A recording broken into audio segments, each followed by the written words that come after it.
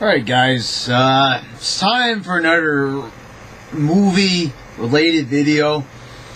Um, I will have probably a review of the uh, Pacquiao Mayweather fight, which I will be watching this evening. Probably going to do a video on that. Um, but I'm going to have to talk about uh, this. I, I could have mentioned this in my Avengers video if I wanted to, but I figured I'd say it for another video. The trailers.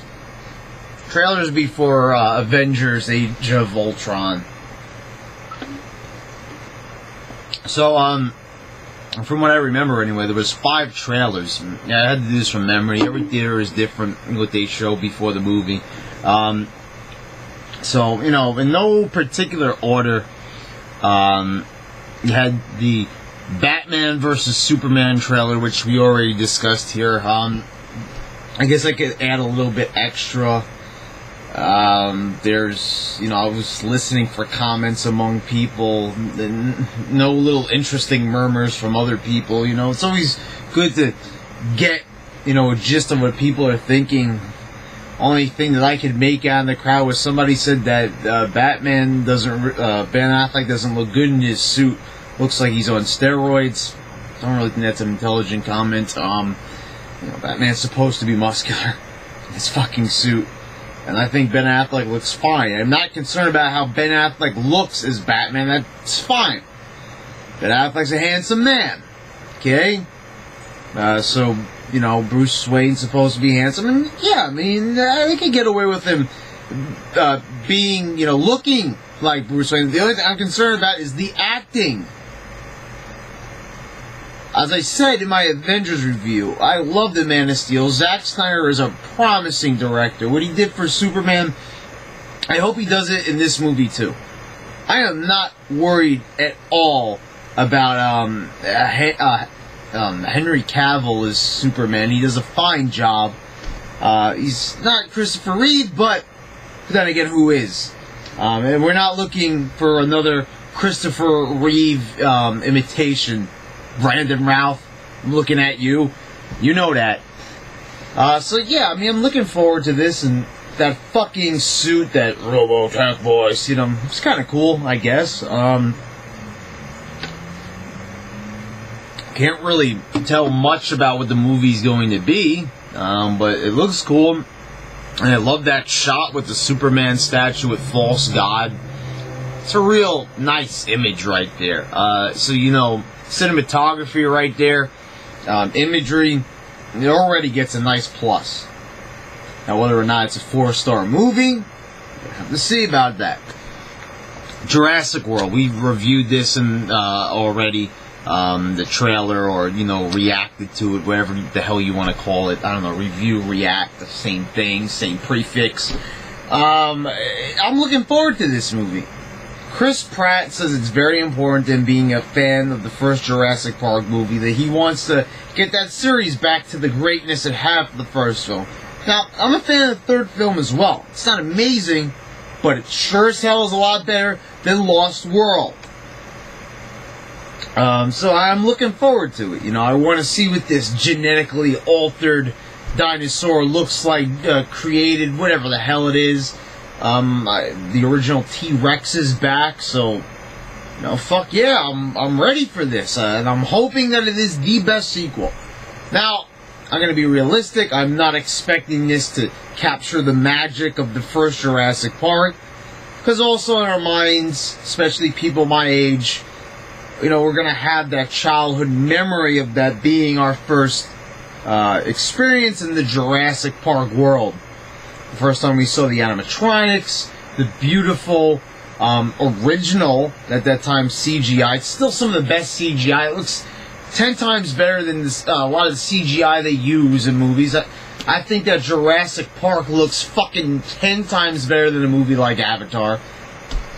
I'm just gonna say that right now. I'm just gonna be perfectly honest. I prefer the CGI in that movie to what we saw in Avatar. And fucking Jurassic Park is 93, 94. Um,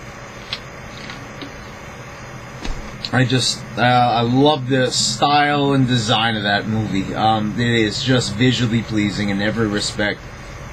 Pixels. This movie looks fucking awful.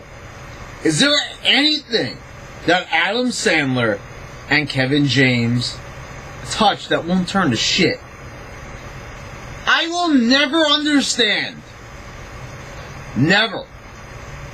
How Adam Sandler got to the uh, the cinema popularity that he has received. Now the man was great on SNL. He's a comedic genius.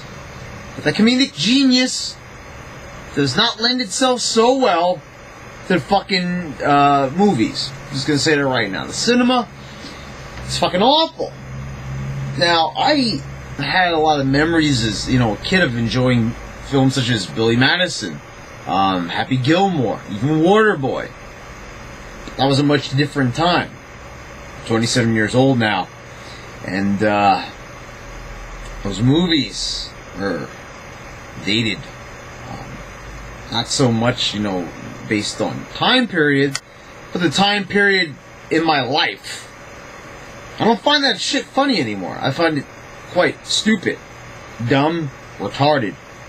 Now, not saying that they still can't get a chuckle out of me every now and then. I mean, uh, you know, Billy Madison, uh, seeing an imaginary penguin is still funny to this day, up to a point.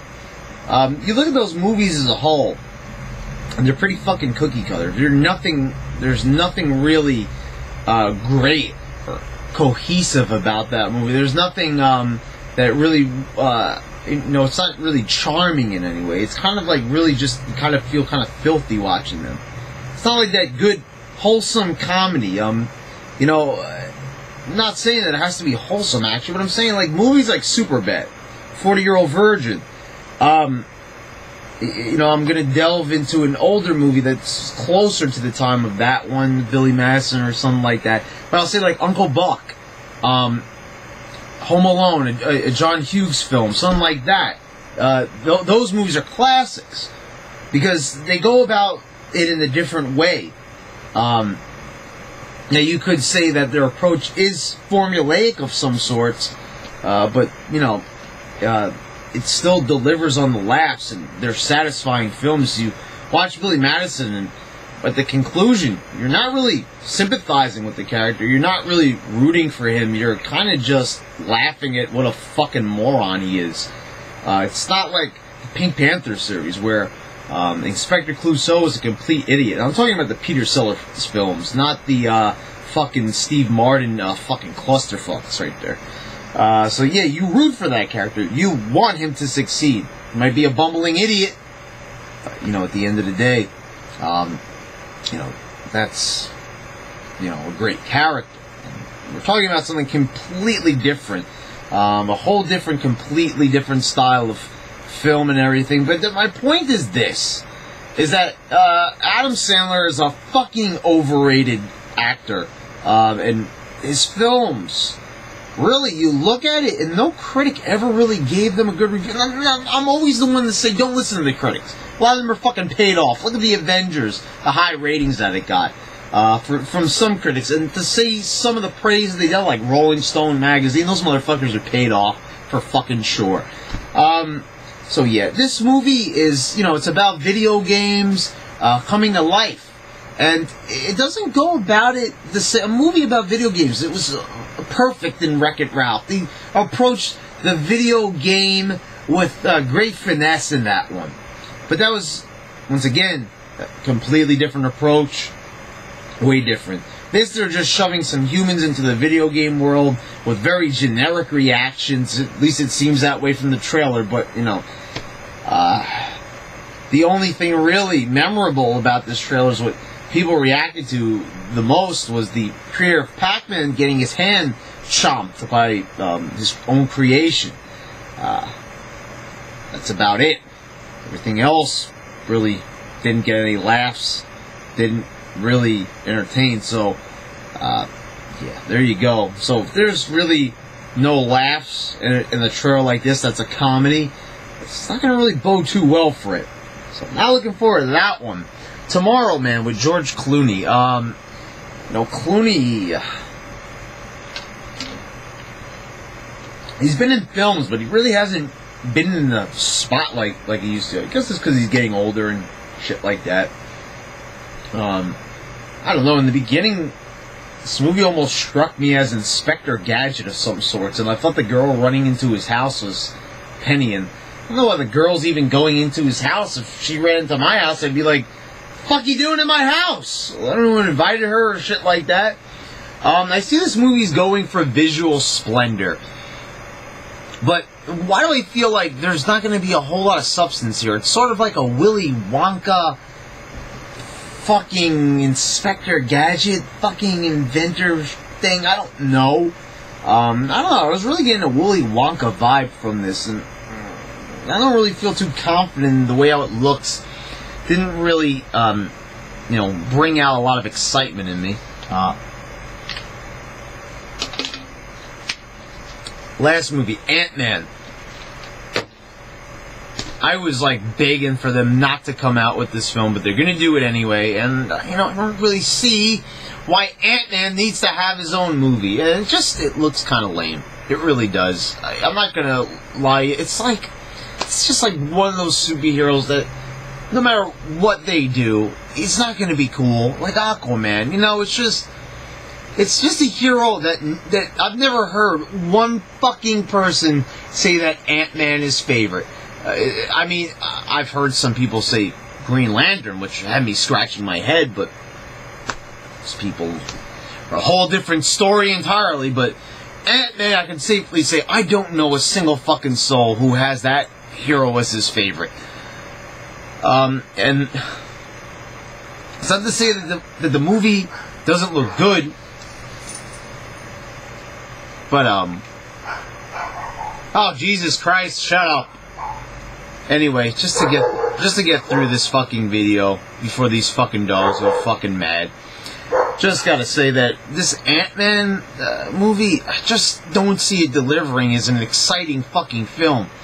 It's a guy that gets little. It's like Honey, I Shrunk the Kids, but in superhero form. Um, yeah, I don't want to really knock it, but I have no choice but to do so just I don't really see it being a fucking classic or really all that entertaining. It's just it's kind of lame, and you can even see the hero says uh, he even says it himself. He's like, "Who are you, Ant Man? Uh, it's not my idea." And you can even tell that Ant Man is even embarrassed to be himself. so there you go. If the hero doesn't even have confidence in himself, then why should we? Anyway, folks, these are the trailers that were shown prior to the Avengers. These are my thoughts on some of the upcoming movies this year, and and uh, well, in the case of Batman vs Superman next year, uh, yeah, there you go. So anyway, those are my thoughts, and as the movies get released, or if I end up seeing any of these, uh, yeah, we're going to do some reviews and discussions. All right.